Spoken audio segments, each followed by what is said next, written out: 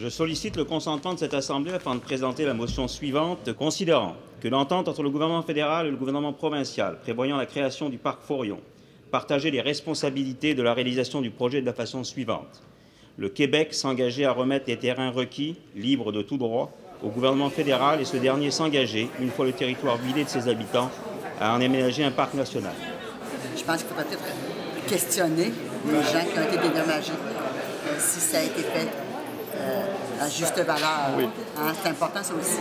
Fait que euh, les gens de première, de première génération, peut-être euh, vous avancez, je vais vous donner vos passes tranquillement. Vous pourrez suivre madame puis monter tranquillement dans les tribunes.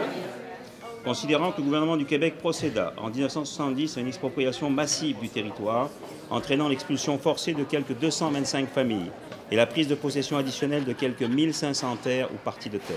Ça assez difficile parce qu'il a fallu s'en aller, se déraciner, puis moi, c'était vraiment ça. Recommencer vie parce qu'on a changé de...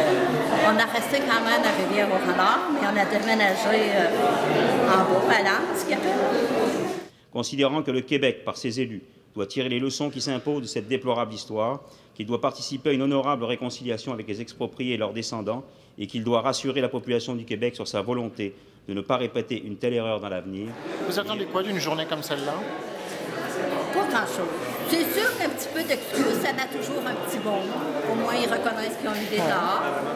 Euh, Il est résolu que l'Assemblée nationale présente ses excuses officielles aux personnes expropriées du parc Forion pour l'expropriation abusive dont elles ont été victimes et que le président de l'Assemblée nationale fasse parvenir aux représentants des personnes expropriées et de leurs descendants une copie officielle du journal des débats faisant état de l'adoption de la présente motion.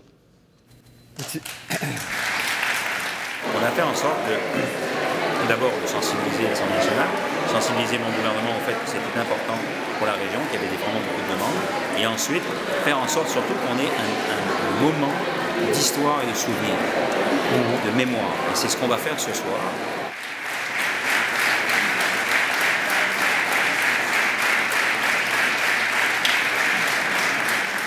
Aujourd'hui, j'ai trouvé ça euh, c'était émouvant, mhm. mais c'est bon aussi d'aller toucher l'être dans ce qu'il vit, euh, dans le plus profond de ce qu'il est, parce que c'est là que, ça, là que ça, les émotions se ouais. dorment, et puis, euh, je pense qu'il faut soigner ça, il faut les guérir.